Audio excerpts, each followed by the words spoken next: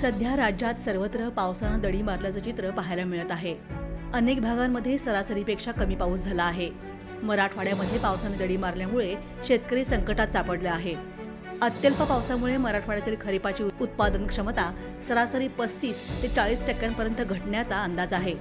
पुढील आठ दिवसामध्ये जोरदार पाऊस न झाल्यास पस्तीस लाख हेक्टरवरील संपूर्ण खरीप धोक्यात येण्याची भीती व्यक्त केली जात आहे. शेतकऱ्यांच्या नजरा पावसाकडे. पावसाअभावी मराठवाड्यातील खरीप हंगाम धोक्यात आला आहे. पिकांना पाण्याची गरज आहे मात्र सध्या पाऊस पडत नसल्यामुळे पिकं धोक्यात आली आहेत. त्यामुळे शेतकरी चिंतेत आहेत. छत्रपती संभाजीनगरसह मराठवाड्यातील सर्व जिल्ह्यातील शेतकऱ्यांच्या नजरा आता पावसाकडे लागल्या आहेत.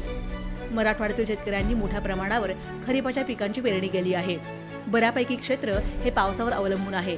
मात्र गेल्या पंधरा दिवसांपासून अधिक काळ झाला राज्यात पावसानं दडी मारली आहे. त्यामुळे शेतकऱ्यांनी पेरलेली पिकं वाया जाण्याची शक्यता निर्माण झाली आहे. मराठवाड्यातील खरीप हंगामातील पीक पेरणीचं क्षेत्र. छत्रपती संभाजीनगर अडुसष्ट लाख चार हजार सातशे सोळा. जालना सहा लाख एकोणीस हजार सहाशे पंच्याण्णव. बीड सात लाख पंच्याऐंशी हजार सातशे शहाऐंशी. लातूर पाच लाख नव्याण्णव हजार चारशे छप्पन्न. धाराशिव पाच लाख चार हजार सातशे पस्तीस. नांदेड सात लाख सहासष्ट हजार आठशे नऊ.